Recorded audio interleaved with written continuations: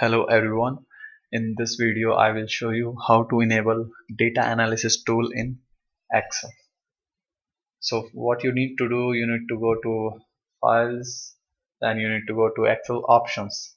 Here go to add-ins and here you need to click on analysis ToolPak. So press go and here check this analysis ToolPak and click on ok button so now click it.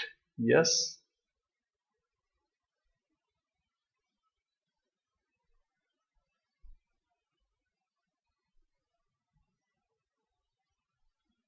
Just wait for some time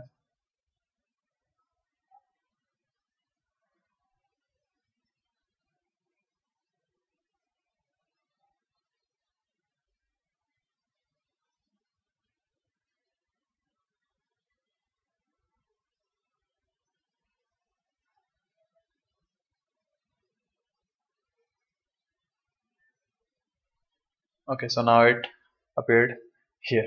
So now you can use this ToolPak thank you very much for watching